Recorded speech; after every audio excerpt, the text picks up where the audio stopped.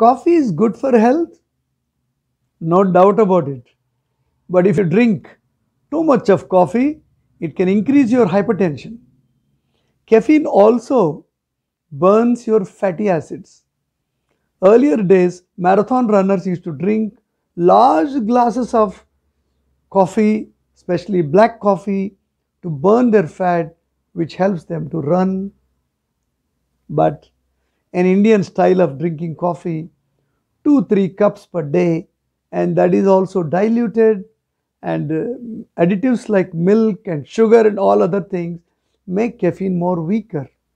So Indian style of drinking of coffee is no health hazard. We do not consume more than 250 milligrams of caffeine in whole day's coffee consumption. So that is a limit beyond which you should not consume. So have coffee.